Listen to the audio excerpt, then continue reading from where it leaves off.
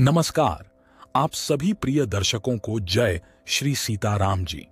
दोस्तों, पूरे संसार को प्रकाशित करने वाले भगवान सूर्य अपने सेनापति मंगल के साथ आपकी राशि को प्रकाशित करने जा रहे हैं। वे जानना चाहते हैं कि उनके प्रकाश से आपके जीवन में कौन से क्षेत्र प्रभावित होंगे।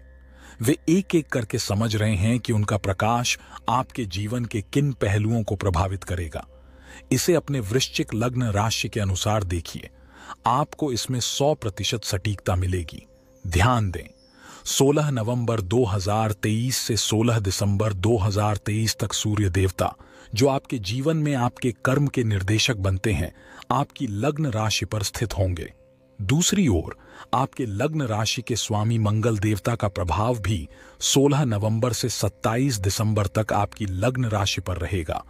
इसका अर्थ है कि इस अवधि में आपका नाम और कार्य सर्वाधिक चर्चा में रहेंगे। आप देखेंगे कि आप पर सभी की नज़रें रहेंगी। इस पूरे समय में केवल एक ही बात प्रमुख रहेगी, आपकी उन्नति और सफलता। वृश्चिक राशि पर सूर्य और मंगल के गोचर का आपके जीवन पर क्या प्रभाव पड़ेगा, यह जानना दिलचस्प होगा। सबसे पहले सूर्य देव आपके कर्म क्षेत्र के स्वामी बनते हैं। इसलिए, अगर आपके कैरियर से जुड़ी कोई परेशानी है तो इस दौरान आप में विश्वास आ जाएगा कि आप अपने काम से जुड़ी मुश्किलों को दूर कर सकते हैं। इस समय आपके कैरियर के लिए एक बहुत ही अच्छा अवसर आपके सामने आ सकता है। एक नया विकल्प आपको मिल सकता है, जो आपके कैरियर को नई ऊंचाइयों तक ले जा सकता है।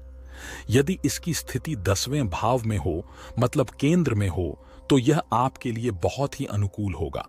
क्योंकि आपकी राशि के स्वामी मंगल हैं, जो सूर्य के बहुत अच्छे मित्र हैं। इसलिए भी यह आपके लिए अनुकूल स्थिति है। वृश्चिक एक जल तत्व की राशि है, लेकिन यहाँ दो अग्नि ग्रहों की उपस्थिति इसे बिल्कुल खराब नहीं बनाती, क्योंकि दोनों राशियों के मित्र हैं और मंगल तो स्वयं इस राशि का स्वामी है। इस हिसाब से दोनों जलाधिवास करेंगे, अर्थात वहाँ पर उपस्थित होकर शांति और आनंद की अनुभूति आपके जीवन में लाएँगे। कैरियर से जुड़े हुए किसी भी शांतिदायक अनुभव से आप लाभान्वित हो सकते हैं। आप परिवर्तन चाहते हैं, परिवर्तन होगा। प्रमोशन चाहते हैं, प्रमोशन की स्थिति यहाँ बन सकती है, या फिर आप नौकरी में प्रयासरत हैं। यदि सही और सटीक समय अभी मिल नहीं पा रहा है तो समझिए कि इससे बेहतर गोचर परिवर्तन आपके लिए संभव नहीं है। 27 दिसंबर तक, जो 2023 के अंतिम दिन तक चलेगा आप इसे स्वीकार कर सकते हैं, या फिर यह आपको सकारात्मकता की ओर अग्रसर करेगा। दूसरी ओर, जब सूर्य देव जिस भाव और स्थान पर होते हैं, जहाँ से वे सारे जगत को प्रकाशित करते हैं, आपके भीतर आकर वे आपके आत्मविश्वास में वृद्धि करेंगे। आप महसूस करेंगे कि आप अपनी हर समस्या का सामना करने में सक्षम हैं। आप स्वयं को एक संघर्षशील व्यक्ति मानकर प्रयास करेंगे और निरंतर सफलता प्राप्त करने की अधिक संभावना होगी। सूर्य को एक स्वाभिमानी ग्रह माना जाता है, इसलिए आपके अंदर भी स्वाभिमान जागृत होगा। अगर हमें किसी द्वारा बार बार प्रताड़ित किया जाता है तो भी हमें अपना स्वाभिमान नहीं खोना चाहिए।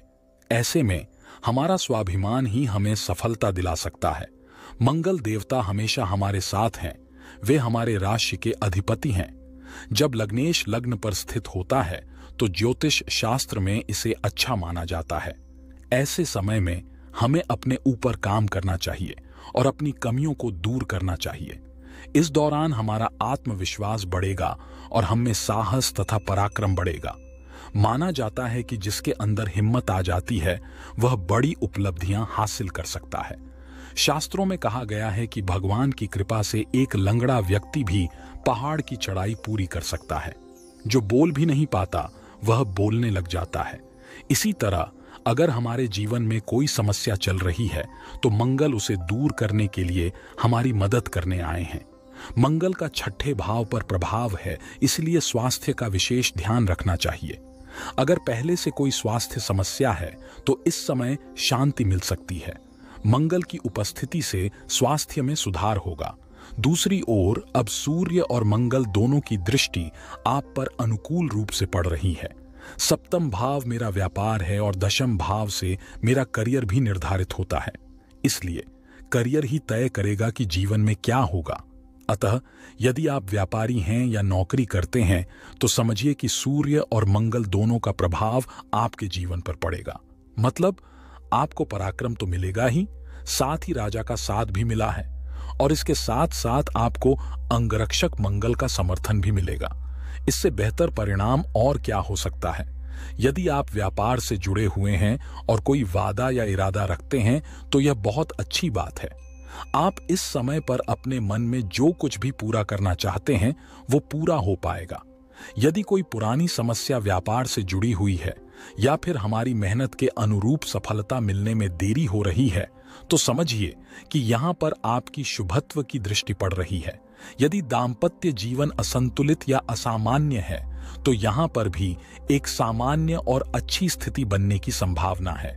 यदि आप विवाह करना चाहते हैं तो नवंबर से दिसंबर तक का समय आपके लिए वैवाहिक जीवन को अच्छा बनाने वाला और विवाह के रिश्ते लाने वाला है। मंगल के पास कुछ विशेष दृष्टियाँ होती हैं। उन दृष्टियों के अनुसार मंगल देवता प्रतिफल देते हैं। मान्यता है कि जिस भाव पर मंगल की दृष्टि होती है, वह भाव किसी प्रोटेक्शन से कम नहीं होता, अर्थात हमें एक संरक्षण प्राप्त हो जाता है। जब मंगल की स्थिति अच्छी होती है, तब उनकी दृष्टि आपके चतुर्थ भाव पर पड़ती है। चतुर्थ भाव सुख और संपदा का स्थान है। मंगल भी स्वयं संपदा और भूमि के कारक माने जाते हैं। इसलिए मंगल की दृष्टि से आपके चतुर्थ भाव में सुख और संपदा बढ़ सकती है। इस समय आपके प्रॉपर्टी से जुड़े कुछ काम अटके हुए हैं। यदि आप उस प्रॉपर्टी को बेचना चाहते हैं तो मंगल देवता आपकी इच्छा अनुकूल वरदान देंगे। यदि आप प्रॉपर्टी बनाना चाहते हैं तो भी मंगल चतुर्थी के दिन आपकी मदद करेंगे। इस प्रकार दोनों दृष्टिकोण से मंगल की अनुकूलता रहेगी। जब मंगल की दृष्टि सुबह आपके चतुर्थ भाव पर पड़ेगी तो यह माता के स्वास्थ्य के लिए सुरक्षा का संकेत है। इस प्रकार आपको शांति का वातावरण दिखाई देगा।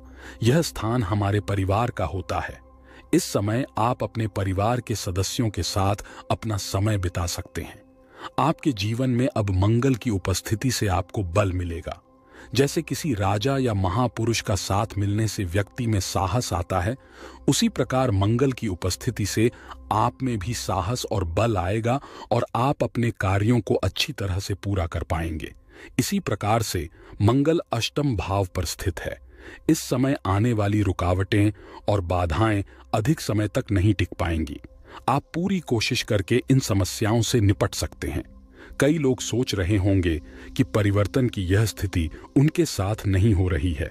लेकिन ध्यान रखिए, जैसा हमारा मन होता है, वैसा ही हमारे जीवन में संतुलन बनता है। इसलिए अपने मन को सकारात्मक रखें। अगर अच्छे ग्रहों का संयोग बन रहा है तो हम ज्योतिषी के रूप में आपके जीवन को बदल नहीं सकते। आपको यह समझना होगा कि हम आपके जीवन में परिवर्तन ला सकते हैं। यदि बदलाव है तो परिवर्तन भी है। परिवर्तन केवल भगवान ही नहीं कर सकते। ग्रहों की स्थिति भी इसमें योगदान दे सकती है। हालाँकि, हमें खुद भी परिश्रम करना पड़ता है। हम भी एक ज्योतिषी हैं। फिर भी, हमें अपने जीवन को बनाने के लिए दिन रात परिश्रम करना पड़ता है। मेरा मानना है कि जब हमारा परिश्रम हमारी उन्नति की ओर अग्रसर होता है तो परमात्मा भी हमारी बुराइयों में भी सफलता देने के लिए विवश हो जाता है। शायद यही सफलता का संकेत है कि आपके लग्न में सूर्य और मंगल आ रहे हैं। अपने परमात्मा को कभी न भूलें और उनका आश्रय लेते हुए आगे बढ़ें। ध्यान रखिएगा, आपके भाई पंचम भाव के स्वामी देव गुरु बृहस्पति हैं, जो स्वयं ज्ञान की वृद्धि मानते हैं। इसलिए इस समय आपका ज्ञान भी सदैव की तरह जागृत अवस्था में रहेगा। बस इस वर्ष आपको उस नाते को नहीं तोड़ना है, जिस पर आपका मन टिका हुआ है, जिसे ईश्वर ने अब तक आपको संभाले रखा है। क्या वह आगे भी आपको नहीं संभालेगा? हमारे अंदर यह भावना होनी चाहिए कि जब तक हम अपने हाथों से कोई कार्य करते रहेंगे, ईश्वर हमारी रक्षा करते रहेंगे। हम जो सोचते हैं वो हमेशा सच नहीं होता। जब तक हमें अपने भाग्य की समझ नहीं आती और ईश्वर की कृपा नहीं मिलती तब तक हमारे जीवन में अच्छे परिणाम नहीं आते। भाग्य और ईश्वर की कृपा के बिना हमारे मन की इच्छाएँ पूरी नहीं होती। जब भाग्य जागृत होता है और ईश्वर की कृपा मिलती है, तभी जीवन मंक अच्छे और शुभ संयोग बनते हैं। ध्यान रखिए कि हमेशा अपने प्रियजनों का सम्मान कीजिए। आशा है आप सभी ने मेरी बात समझ ली है। यदि मेरा समझाना आपको अच्छा लगा हो तो जैसे हमेशा की तरह इस बार भी अपना प्यार दिखाएँ और कमेंट करें। मेरे चैनल को सब्सक्राइब भी ज़रूर कीजिएगा। फिर से सभी को शुभकामनाएँ। आप सभी का दिन मंगलमय हो। जय श्री राम।